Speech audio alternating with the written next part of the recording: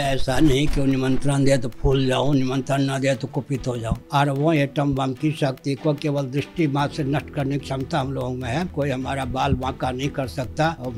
मोदी क्या हुआ? मोदी थोड़े हुआ, बुद्धू हो गए, अपनी बुद्धिहीनता का परिचय दे रहे हैं। शास्त्रीय विधा से काम नहीं हो रहा है, इसलिए मैं उसमें भाग नहीं लेता। पहले ये चंपत राय पहले हुए या संपत राय पहले हुए? चंपत राय माने यहाँ से वहाँ भगते फिरो क्या का लोटा। 22 जनवरी को लेकर पूरे भारत में उत्साह का माहौल है, लेकिन कुछ ऐसी बातें हैं जो शास्त्रों के विरुद्ध जा रही है, और इसी पर चर्चा करने के लिए आज हमारे साथ श्रीमद जगत गुरु शंकराचार्य स्वामी निश्चलानंद सरस्वती जी महाराज जुड़ रहे हैं। उन्होंने कई ऐसी बातें कही हैं जो सबके सुनने योग्य है, और सुनना भी चाहिए क्योंकि इसके पीछे एक लॉजिक भी साफ़ साफ़ नज़र आ रहा है। महाराज जी सबसे पहला सवाल अ, विवाद भी शुरू हो गया है। कहीं ना कहीं उत्साह तो ज़रूर है पूरे भारत अ, देश में और बहुत सालों बाद ये कार्य हो रहा है। शायद इसलिए भी बहुत ज़्यादा उत्साह है पूरी कम्युनिटी में पूरे भारत वर्ष में। लेकिन कहीं ना कहीं आमंत्रण को लेकर भी ये जो विवाद सामने आ रहा है भले वो ऑपोजिशन पार्टीज़ सवाल उठा रहे हो आपने भी सवाल उठाया है। मुझे ये जानना था कि आमंत्रण महाराज जी आया है? अगर आमंत्रण आया है तो आपको क्या लग रहा है आप जाएँगे उस प्राण प्रतिष्ठा में सम्मिलित होने? ऐसा है कि मेरा हृदय ऐसा नहीं कि निमंत्रण दे तो फूल जाऊँ निमंत्रण ना दे तो कुपित हो जाऊँ। मैं छुई मुई नहीं हूँ। बहुत धैर्य भगवत कृपा से। लेकिन परिस्थिति चल रही है राम जी जो हैं शास्त्र सम्मत विधा से प्रतिष्ठित हों आवश्यक है।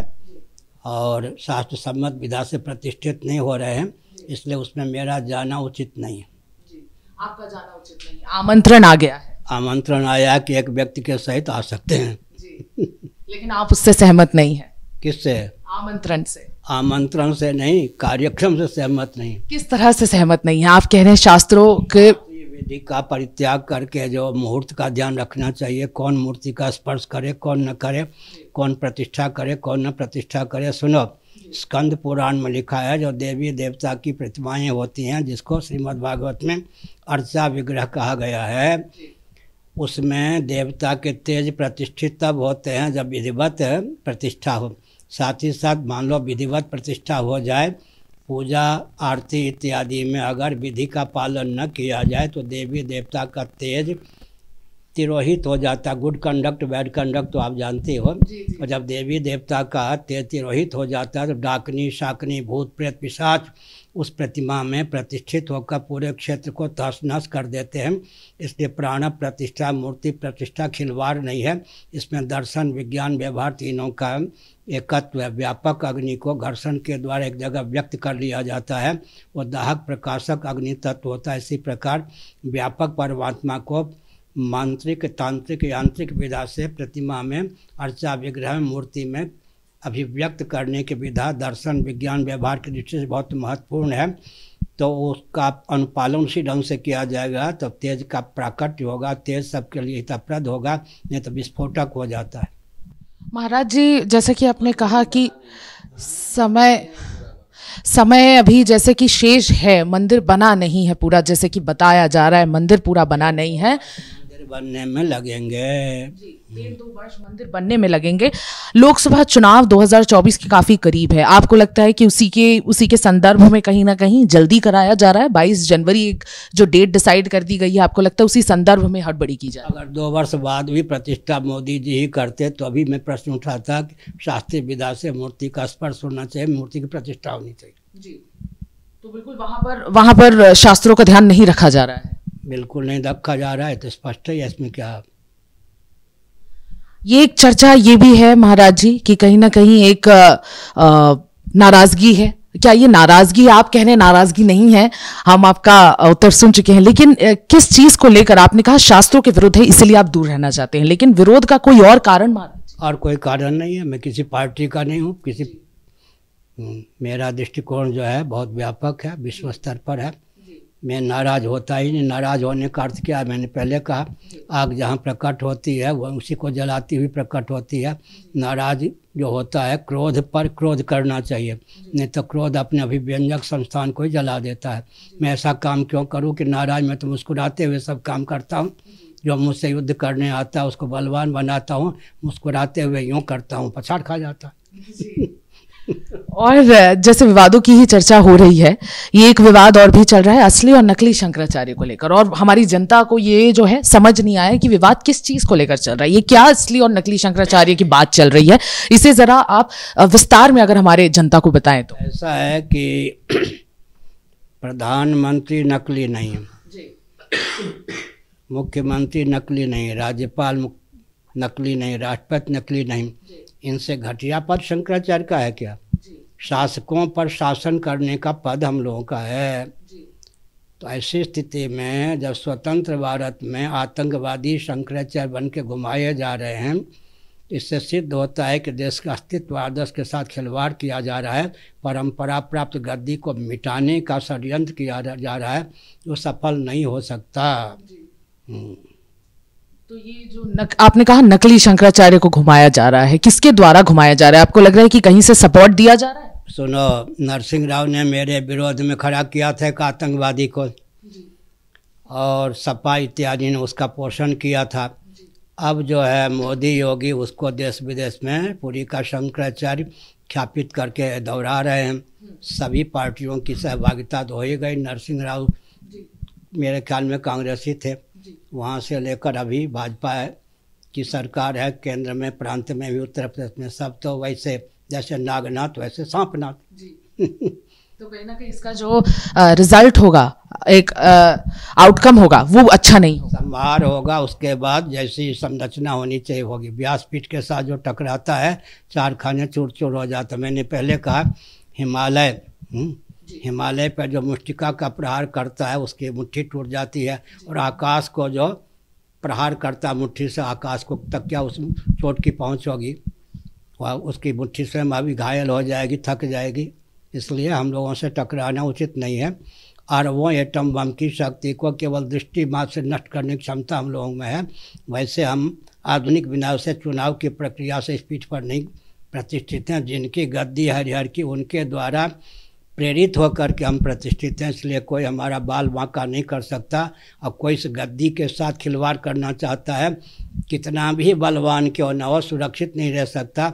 जनता को मैं भड़काता नहीं लेकिन हमारी वाणी का अनुगमन जनता करती है। लोक मत भी हमारे साथ है शास्त्र मत भी हमारे साथ है साधु मत भी हमारे साथ है।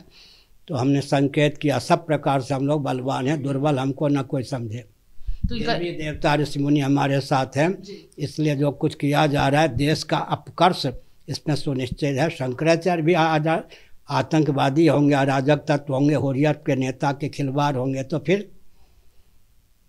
तो आपने एक चेतावनी सी दे दी है प्रधानमंत्री नरेंद्र मोदी और जो उत्तर प्रदेश के मुख्यमंत्री हैं योगी आदित्यनाथ की अगर आपसे टकराएँगे तो दोनों मेरे परिचित हैं। जब मैं गुजरात में भ्रमण करता था। ये देवता उस समय गुजरात के मुख्यमंत्री थे। उस समय भी हम्म, उस आतंकवादी को अरेस्ट होने से बचाया था। आरंभ से ही हमसे भिड़ते रहे हैं और दर्शन करने आए भी थे मेरे पास शपथ ग्रहण के पहले। उन्होंने कहा था ऐसा आशीर्वाद दीजिए कम से कम भूल कर सकूँ। तो अब वो इतनी बड़ी भूल कर रहे हैं जिससे कहा था कम से कम भूल कर सकूँ। उसी से टकरा रहे हैं। बुद्धू हैं या नहीं? और मोदी क्या हुआ? मोदी थोड़े हुआ बुद्धू हो गए अपनी बुद्धिहीनता का परिचय दे रहे हैं। हम्म। और एक एक जो नज़दीक है क्या? जी एक और एक एक उप, एक स्टेटमेंट आया चंपत राय जी का श्री राम मोदी जी। और सुनते भी रहते हैं हमारे शब्दों का प्रयोग भी करते रहते हैं समझ गए? सीखते भी हैं और टकराते भी हैं। अच्छा सीखते भी हैं और टकराते भी हैं बिल्कुल। विशेषता है उनकी। चंपत राय जी कह रहे हैं कि श्री राम जन्मभूमि ट्रस्ट के महासचिव चंपत राय जी कह रहे हैं कि मंदिर जो है सौंपा जाना चाहिए रामानंद समुदाय को। तो आपका इस पर पूरे इस पूरे स्टेटमेंट पर क्या है उन एक रिएक्शन है? हुए रामानंदाचार्य पहले हुए? राम जी पहले हुए और रामानंदाचार्य पहले हुए? पहले ये चंपत राय पहले हुए या संपत राय पहले हुए? चंपत राय माने यहाँ से वहाँ भगते फिरो क्या बेपेदनी का लोटा? और लोटा का उल्टा क्या होता है? टालो।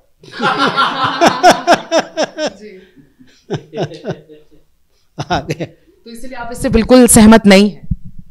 मैंने दस बार का बीस बार और कहलवा लो शास्त्रीय विधा से काम नहीं हो रहा है इसलिए मैं उसमें भाग नहीं लेता समझ गए? मैं रूठता नहीं नाराज़ भी नहीं होता। नाराज़गी कोई लक्षण भी नहीं मैं बहुत हंस के ही खेलता हूँ कूदता हूँ। युद्ध भी करता हूँ तो सबके हित की भावना से हँसते हुए ही युद्ध करता हूँ समझ गए? क्या आपसे ट्रस्ट ने किसी प्रकार की कोई भी सुझाव लेने की कोशिश की? क्या कोई सुझाव मांगा गया था? आपने कोई सुझाव दिया कि देखिए ये शास्त्रों के विरुद्ध हो रहा है जो भी हो रहा है तो इसे रोका। सुझाव कौन लेगा? धार्मिक क्षेत्र का नेतृत्व भी मोदी योगी अपने पास रख रखना चाहते हैं सुझाव लेने की उनको आवश्यकता क्या है? फिर हमसे सुझाव लेंगे उसके बाद जजमेंट वो करेंगे तो हम वकील हैं उनके और जो जज बन के काम करेंगे हम सुझाव क्यों देंगे? अच्छा तो कोई सुझाव नहीं दिया गया? सुझाव हम किस आधार पर दें? उन्होंने मांगा नहीं और सुझाव में क्या देता? सुनिए हमारा निर्णय तो सुप्रीम कोर्ट में भी नहीं काटा जाता। जगन्नाथ मंदिर का प्रश्न था में कोई पार्टी नहीं था। उस समय जो चीफ जस्टिस थे उन्होंने कहा धार्मिक विषय है। इसमें आपका जो मार्गदर्शन होगा वही हमारा निर्णय होगा।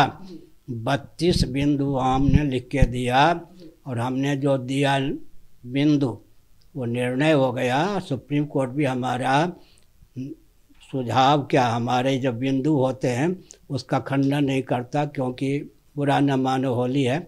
मैं संविधान का भी ज्ञाता हूँ और मुझसे बहुत से व्यक्ति वकालत कैसे करें, निर्णय कैसे करें? जब मैं शंकराचार्य नहीं था तो भी प्रशिक्षण ले चुके हैं। शंकराचार्य हुआ तो बत्तीस बत्तीस एडवोकेट सुप्रीम कोर्ट आदि के और जस्टिस भी आकर के, हैं? डेढ़ सौ। ये सब आकर के मुझसे न्याय के ऊपर प्रवचन सुन चुके हैं और मार्गदर्शन ले चुके हैं।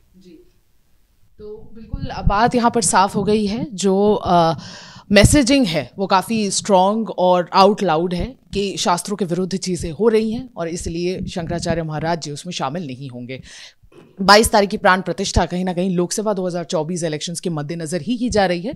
कंस्ट्रक्शन का भी दो साल कम से कम, डेढ़ साल का जो कंस्ट्रक्शन है, उतना जो समय है शेष है, लेकिन फिर भी प्राण प्रतिष्ठा कर लेना कहीं ना कहीं शास्त्रों की विरोध में काम करने लायक है।